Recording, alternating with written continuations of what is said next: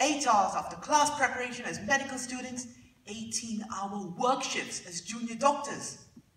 And it doesn't even get better after residency, for then we're either clawing our way up into our own establishment or setting up our own establishment, both of which are literal time black holes. Doctors are forever racing against time, both for themselves and for the patients they're trying to cure. As per rule, patients demand the best possible treatment in the shortest length of time. We can't blame them entirely though. For instance, patients in India get an average consultancy time of 120 seconds with their doctor. Patients in the UK public healthcare system often find themselves on perennial waiting lists. One in 14 patients in the UK are on that list. And then we've got the newspapers and the social media outlets, which are forever dredging up stories of how patients are receiving the wrong treatment due to inept doctors.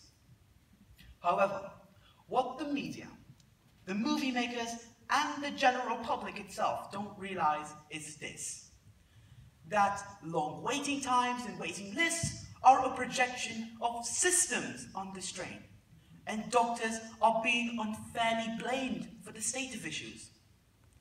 If medicine was considered a, a profession rather than a vocation, if doctors were forced to meet due targets and numbers, then it is but natural to have more patients squeezed into one slot, ergo, less consultancy times. And of course, if doctors are weighed down by clunky paperwork and unnecessary bureaucracy, then they're going to have less time for patient care, right? And the outcome? Longer waiting lists. Medicine, in essence, is once limited, yet driven by time. And currently, doctors are functioning under a severe ration of this essential commodity. So please, folks, give us some more time. Now, the final course, well, I'll call it dessert. They're nice to have things in life. Doctors would really, really like to have more money, just like the rest of us, right? Honestly, though we all know that doctors' salaries are through the stratosphere. Doctors in the US have their own private jets and yachts. Doctors in the UK often have a knighthood to their name. And while doctors in India don't usually have a knighthood, they do have posh clinics and often intermingle with Bollywood celebrities. However, this is the upper end of a very, very, very diverse spectrum. These are doctors who've either spent decades practicing medicine or who have been smart enough to jump on the Hollywood talk show bandwagon. I'm talking to you, Dr. Oz. The, middle, uh, the mid-spectrum consists of doctors who earn a stable living while working insane amounts of hours. And at the very, very bottom, the poor junior doctors who barely earn anything at all. They work for about 15 hours a day and spend the rest dreaming, no, having nightmares, sorry, about loan foreclosures. So this, my friends, is an honest, unbiased, dietic analysis of the medical profession.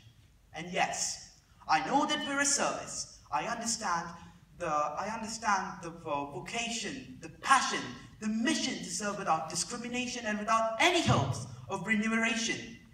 But sadly, these lofty ideals are not enough to justify the 3 million dirham loan, the backbreaking hours, and the sheer mental stress of of the profession. Doctors do need more respect. They're forever waging a primordial war against death. They do need more trust. Not all of them are idiots downplaying Dr. Google's Cassandra-like croaking. They do need more time. Time for themselves and time for the patients they're trying to cure. And yes, they need a pay scale which justifies their efforts.